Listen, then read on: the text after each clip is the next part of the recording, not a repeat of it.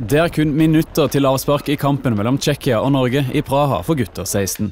Blant spillerne på det norske laget er kameratene Herman Stengel og Mats Møller Dæhlie. Det er stort å få spille med flagg på russet, Og aldri gøy å møte de beste. Jeg er helt enig med Mats der. altså. 15 år gamle Stengel er tidenes yngste målskårer i andredivisjon. Nylig signerte han en treårskontrakt med Stabæk, klubben han har spilt for de siste årene. Nei, De tør å slippe de unge inn på tippeligaen og følt at jeg blir satsa på helt siden jeg kom. 16 år gamle Møller Dæhlie har bakgrunn fra Lyn og Stabæk.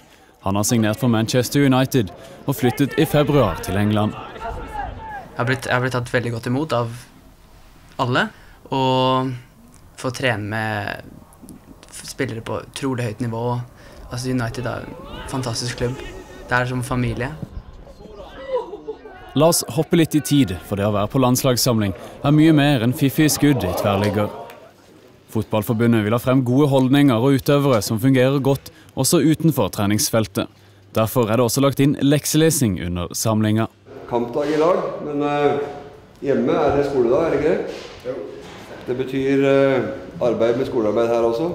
Det er fint at de setter av litt tid, så vi ikke har så mye når vi kommer hjem. Så det blir jo nesten som å gå på skole. For oss er det veldig viktig å stå på to bein. Det er både utdanning og skole. Og det er veldig viktig for eh, skolesaken, men også i forhold til det å prestere på banen. At de drar bort fokus fra kamp og litt på andre ting. For landslagsledelsen handler det om å få gutter til å forstå at de kan komme et stykke med talent, men det neste steget krever tålmodighet og motivasjon. Greit, boys. Da er det match. Sist jeg fulgte et landslag fra de var, 18, nei, fra de var 15 til de var 19, så, så ser vi at ca. 50% av de eh, ender opp i norsk toppfotball. Så det her er et langt løp, og mest sannsynlig så er de som har den indre drivkraften til å, til å virkelig jobbe hardt over tid, som kanskje har det største talentet.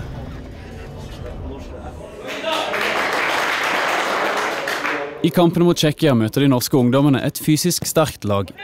Men etter 27 minutter er det 14 år gamle Vaja Basanko fra Asker som viser Tsjekkias målvakt hvor krysset er.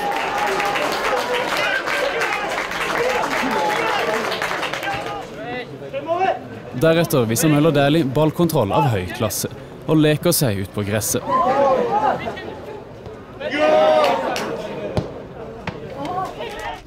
Carl Christian Karlsen fra Sortland treffer godt og smeller inn 2-0, som blir sluttresultatet.